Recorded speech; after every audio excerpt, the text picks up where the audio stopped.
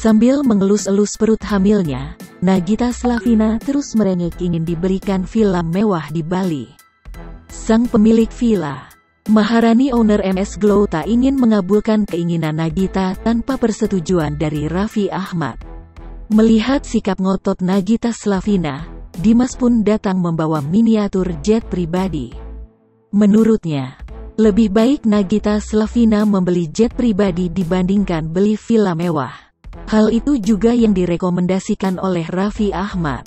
Ia kemudian membeberkan perjuangan Raffi Ahmad demi membahagiakan Nagita Slavina yang sedang hamil.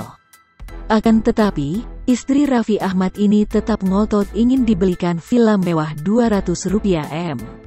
Mengetahui harga villa mewah yang diinginkan Nagita, Raffi Ahmad langsung protes.